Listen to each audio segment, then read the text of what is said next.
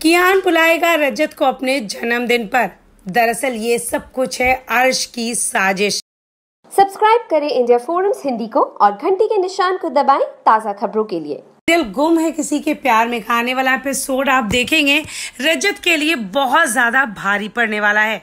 दरअसल हम आपको बता दें कि कियान को पूरी तरह से मैनिपुलेट कर चुका है अर्श अर्श यहाँ कियान का इस्तेमाल करता है रजत से बदला लेने, उसे नीचा दिखाने और उसे तकलीफ़ देने के लिए।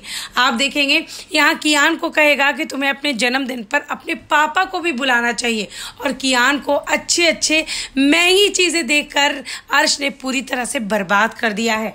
यहाँ कियान को ये तक कह देता है कि तुम्हारे पिता को तुम, तुमसे ना कोई मतलब है और ना ही वो तुम्हारी माँ से कोई रिश्ता रखना चाहते हैं। ये सारी बात सुनकर कियान को बहुत बुरा लगता है। दरअसल वो रजत को फ़ोन करता है और अपने जन्मदिन पर बुलाता है।